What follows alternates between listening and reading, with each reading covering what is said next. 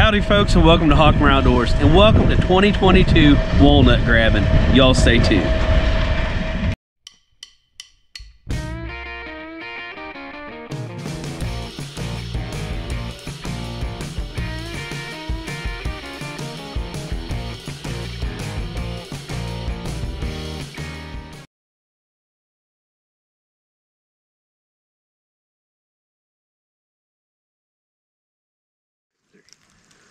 For those of you that weren't around a couple years ago when I did my last walnut video, um, every October I pick up and sell black walnuts. Something I've always done.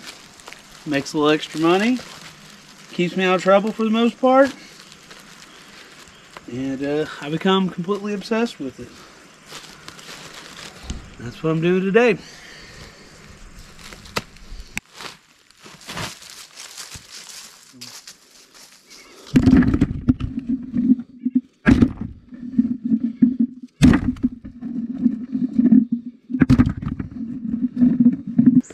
Welcome to Walnut Academy 101. I'm Professor Meyer. Now, as your walnuts grow, it's going to leave you with a green to brown round fruit. It's got a outside husk. It's kind of fleshy and meaty.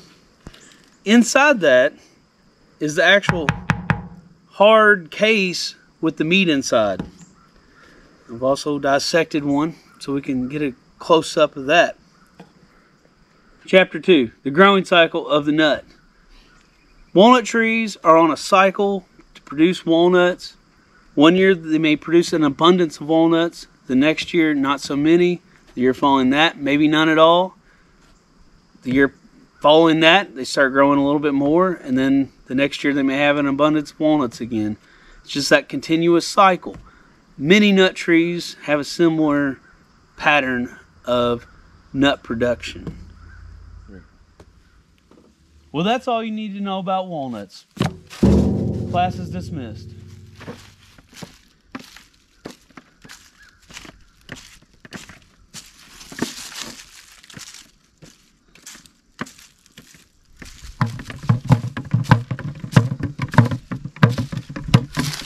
Is my third load of walnuts for the season. The place I'm selling them to they're buying them all October long. My first load is about 1,100 pounds, and that got me almost $200. My second load, I went all out. Had over 1,500 pounds, and that got me 270 bucks. It's a lot of work for a little money, but something I enjoy doing.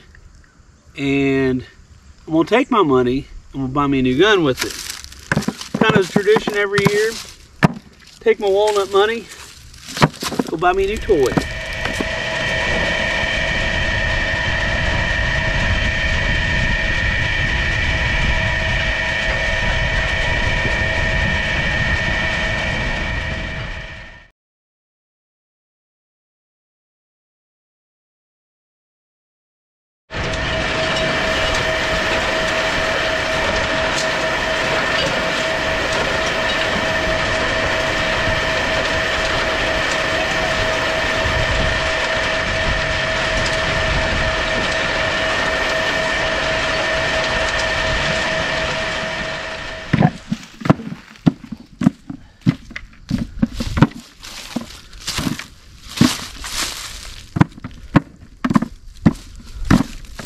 Well, thanks for watching today's video.